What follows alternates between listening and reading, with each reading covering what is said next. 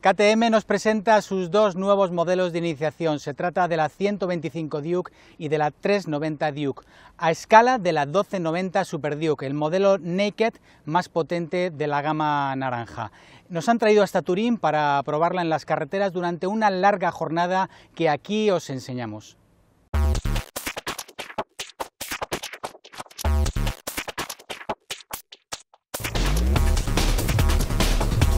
Hablar de KTM es hablar de pasión, pasión por las dos ruedas, siempre con el llamativo y desafiante toque naranja de sus decoraciones, toda una referencia sobre todo en el mundo del off-road.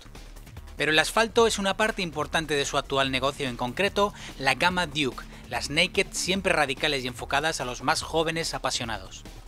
En el año 2011 la firma austriaca presentó la 125 Duke, lo que sería el modelo de acceso a la gama Street, en 2013 llegó la versión con ABS junto a la más potente 390. Versiones ambas que de cara a 2017 sufren cambios importantes en cuanto a diseño, la parte ciclo y el equipamiento. No obstante, aunque ambas comparten la mayoría de estos cambios, la 390 añade otros para adaptarse a la superior potencia. El estilo de la Hyper Mega Super Duke R se ha trasladado a las más pequeñas de la gama y ello ensalza su atractivo general. Desde la óptica frontal completamente de LED, la nueva horquilla delantera, su chasis cada vez más desnudo o la ergonomía mejorada, estas dos versiones de la Duke vienen muy cambiadas. Sin duda, uno de los nuevos alicientes y que eleva a otra categoría a las nuevas máquinas es la pantalla TFT en color, con diseño similar al de las 1290 Super Adventure y que incorpora conectividad vía Bluetooth, además de muchos otros elementos funcionales, y todos ellos controlados desde la piña izquierda. El aumento de la capacidad del depósito de combustible en casi 2,5 litros es otra de las ventajas de esta nueva generación permitiendo una autonomía considerable, tratándose de modelos que gastan en torno a los 3-4 litros. La nueva horquilla delantera con tecnología de pistón separado, la utilización del ultimísimo ABS Box 9.1 con opción de desconexión o el escape más compacto son otros de esos elementos añadidos en esta nueva generación. En esta ocasión, las calles y carreteras de Turín en Italia fueron el escenario de la presentación internacional. Pero antes, el óvalo situado en el techo del edificio de la antigua fábrica de Fiat, ahora reconvertida en centro comercial, de eventos y hotel, entre otros, fue puesto a nuestra disposición.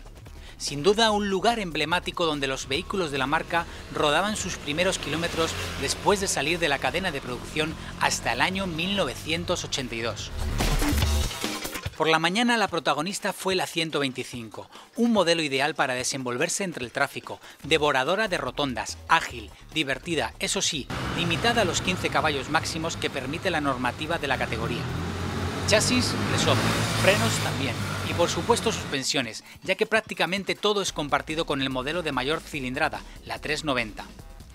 No obstante, existen algunas diferencias como la utilización de un disco delantero de 320 mm, el acelerador electrónico, la posibilidad de utilizar el ABS en modo supermoto o el embrague antirrebote, elementos exclusivos de la 390, u otros como la regulación de las manetas o el manillar con contrapesos en las puntas.